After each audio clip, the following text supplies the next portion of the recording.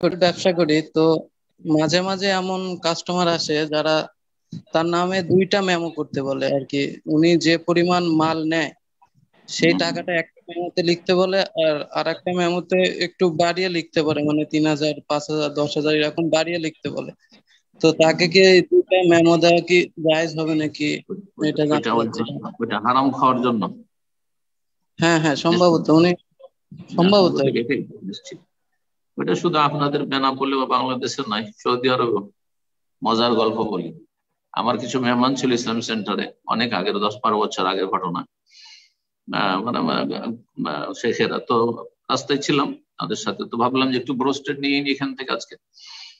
তো ব্রোস্টেড নিতে গেছি, তো একজন নেপালিয়ান কাউন্টারে তো ব্রোস্টেড দেওয়ার পরে বলছে, কত লিখব? বিল কত লিখব? কত লিখব মানে? যত হলো তত লিখো। বলছি, এটা কেন জিজ্ঞেস করলে আমি জিজ্ঞেস করছি, এটা কেন জিজ্ঞেস করলে যে কত লিখব? যা হয়েছে তাই লিখবে। তো বলছে যে সব লোক এসা করতা মানে কাস্টমার অধিকাংশ এসে যারা বিল নেয়, এইভাবে করে। সব তো করে না, ও তো কাফের, সেই জন্য বলছে সব লোক করে। সবাই বেইমান নয়, মুসলিমদের। কিন্তু অধিকাংশ বেমান হয়ে গেছে।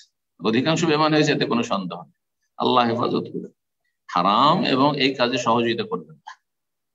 সহযোগিতা করবেন না। হয়তো প্রথমখানে দেখবেন যে আমার হয়তো একটু ব্যবসা মার খেয়ে যাচ্ছে কম্পিটিশনে কারণ অন্য হারাম করেরা এভাবে দেবে, গুনহার কাজে সহযোগিতা করবে, আর গুনহাগাররা পাপিরা, হারাম যারা খায়, তারা ওদের কাছে যাবে। কিন্তু আল্লাহ আপনাকে হয়তো বহু দিক থেকে আল্লাহ দেবেন, একটু শক্ত হওয়ার প্রয়োজন রয়েছে। আল্লাহ ইমানকে যেন মজবুত করে দেন, এবং আল্লাহ রব হালাল রুজিতে যেন বরকত দান করেন। এই ভাবে যদি আপনি জাল তাকে দেন আপনি বা ব্লাঙ্ক দিয়ে দিলেন, যা ইচ্ছা তাই লিখে নিল।